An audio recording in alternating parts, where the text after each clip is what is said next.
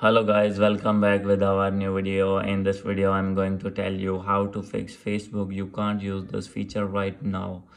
So guys if you have this type of problem when you log in your facebook account then i'll help you how to fix this problem. So let's start without wasting any time.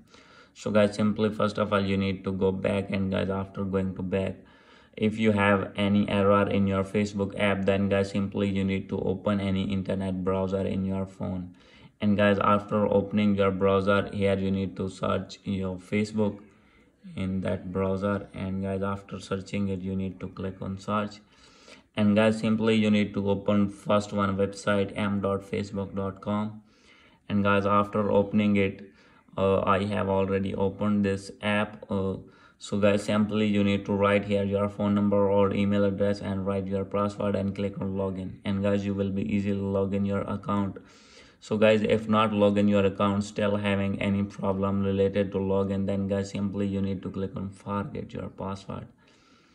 And guys after clicking on forget your password then guys uh, uh, when you are writing your phone number then guys simply uh, here you can find facebook team will send you uh, an otp to your phone number and uh, and you will receive a code. Then guys you need to enter that code. Uh, you need to click on continue. And guys then that code you need to enter here. And guys after here entering you need to click on continue.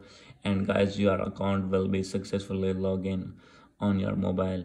And guys after login in this browser uh, when you have successfully login your bro in this browser then guys simply you need to go back and open your facebook app and log in that account in your app now.